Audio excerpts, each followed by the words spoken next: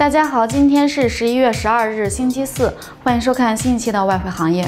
比特币、欧元昨天自三百一十五水平下挫至二百八十五附近，本交易日亚盘反弹至二百九十五上方。货币网公布的报价显示，比特币、人民币昨天自两千两百九十水平位下挫至一千八百一十五附近，此后震荡反弹。本交易日亚盘交投于两千零七十水平位。行业方面，数据显示，比特币上周交易量达到一千四百四十万比特币，几乎接近比特币流通总量，创下历史纪录。该交易量是波动性较高的2015年1月和2014年11月中最高周交易量的两倍多。2013年11月最高周交易量为220万比特币。据悉，绝大多数报告交易量源自中国的比特币交易所，占市场总量的百分之九十三。北京时间十一月十二日十三点十二分，比特币美元报三百一十五点零零，比特币欧元报二百九十六点四四，比特币人民币报两千零七十一点零零。澳大利亚十月就业人口创三年半最大涨幅，同时失业率降至五个月低点，导致降息几率下滑。澳元汇价则跃升，澳大利亚就业增长的年速度甚至超过了美国。美国最近的就业实力强劲，但不能保证在下个月加息。澳元美元跳涨七十五美分至零点七一四三。澳大利亚统计局周四稍早公布，十月净增加五点八六万个工作岗位，几乎是市场预估的四倍。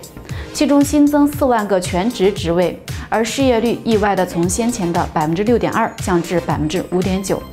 澳大利亚每年的就业增长速度加快至百分之二点七，而美国就业增速为百分之二点零。澳洲联储距离货币政策收紧依然遥远，但进一步降息的前景看上去已经大大减弱。就业报告出炉后，投资者对降息的压注大幅减少。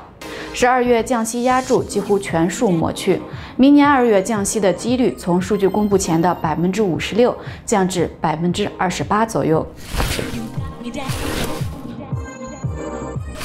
中国央行连续八天下调人民币中间价至六点三六二八，亚市盘中在岸美元对人民币小幅涨至六点三六七三，离岸美元对人民币则小幅上涨，现报六点三九零二。而截止十一月十一日，月内在岸美元对人民币累计上涨了百分之零点七八，同期离岸涨幅更大幅为百分之一点零九。此外，中国政府正加速冲刺 SDR。在尘埃落定前，人民币汇价将以维稳为主，料不会出现太大幅度的波动。之前，中国央行于八月十一日大幅调降人民币对美元中间价，宣布进一步完善中间价报价，人民币创出一九九四年汇率并轨以来最大单日跌幅。有交易员指出，在岸人民币短期汇价仍看央行态度、美指走势以及 SDR 评估结果。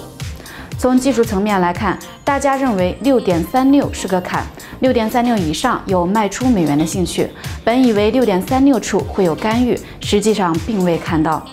北京时间十点四十一分，在岸美元对人民币报六点三六七三七五，离岸美元对人民币报六点三九零二零四。